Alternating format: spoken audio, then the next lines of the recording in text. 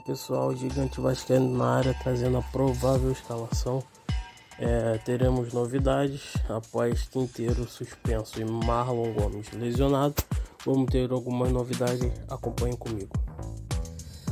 Bom, primeiramente a gente vê aí o nosso campinho com os jogadores do banco de reserva. A gente vai ter no banco Raul, Bruno Tubarão, Zé Gabriel, Paulo Vitor, Luiz Henrique, Léo Matos, é, Fábio Gomes, Matheus Barbosa, Carlos Palácio, Gabriel Peck, Zé Vitor, Ignaldo e Alexander. Nós temos contundido Riquelme e Marlon Gomes e Quinteiro está suspenso pelo terceiro cartão amarelo que tomou no jogo anterior. Nosso técnico Emílio Faro, jogando no esquema de 4-2-3-1, esquema que vem é, implementando desde então, até porque todos os treinadores colocaram o Vasco nesse, nesse esquema. Poucos foram os jogos que o esquema mudou. Um exemplo, a primeira primeiro jogo contra o CSA, o, o esquema foi até 4-4-2.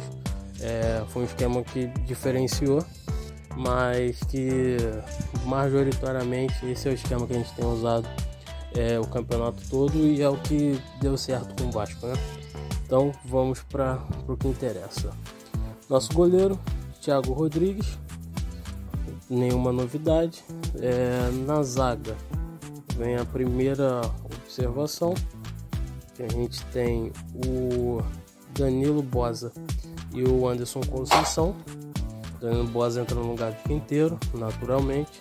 Nas laterais, Edmar e Matheus Ribeiro.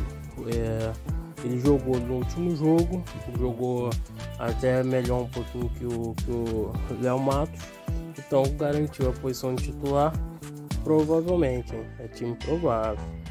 É, volante principal, Yuri Lara e Andrei Santos. Na, no meio campo vem o próprio, a próxima, próxima novidade, entre aspas, no time. Figueiredo, Nenê e Alex Teixeira e fechando o ataque com Raniel. Essa escalação provável para o jogo de amanhã contra o CSA. É, a gente vai estar tá postando a escalação assim que sair, uma hora antes no nosso canal de Instagram, no Somos Vasco 90. Se você não, não segue a gente, vai lá, abre o Instagram aí e segue é, e curte nas postagens, que a gente está sempre com novidade, arte diferente.